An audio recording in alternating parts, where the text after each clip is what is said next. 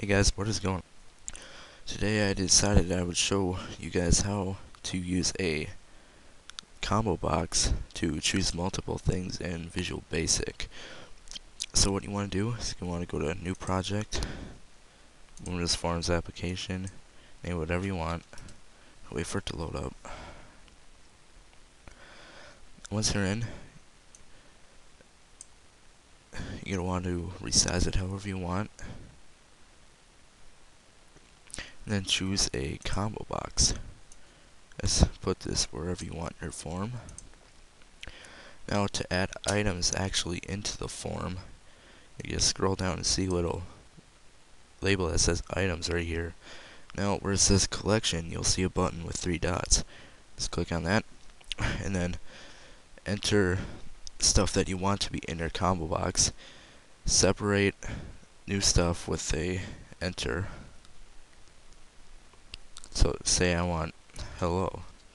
And I press enter to have another option in the combo box. Let's say, how are you?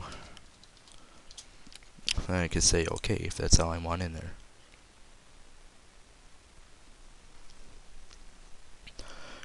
So now, all of, the, all of these, what I just typed, are now in this combo box.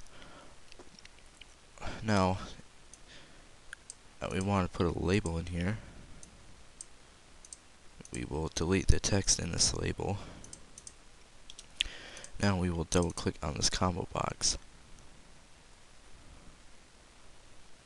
Now here's the coding. Now we will type if combo box oops come on combo box one dot selected item equals now put uh, quotation marks here and type something that was in your combo box. So I'll put hello, and then more quotation marks, and then I will put then label oops, label one dot text equals hello. Oops. Put quotation marks and then hello again. Now what this will do is when we select, right, let me debug it first.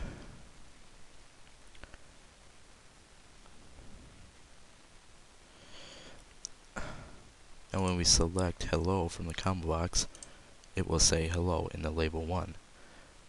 Now note when we click how are you, nothing pops up. So we still need to code that. Click the stop button up here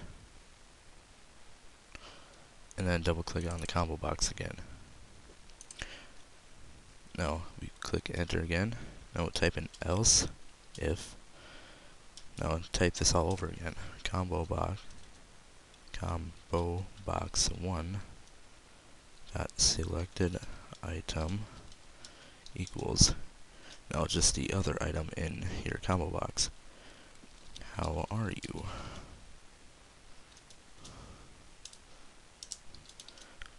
Put quotation marks, then put then. Wait. And then type what you want the label to say. Label one dot text equals quotation marks. Then type whatever you want to say. I'll just say good, you, and put more quotation marks at the end. And then you are done.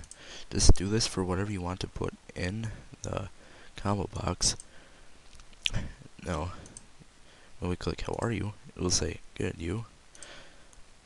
So that's that's about it for this tutorial. If you have any questions, please ask. You can comment or subscribe if you want. Thanks for watching.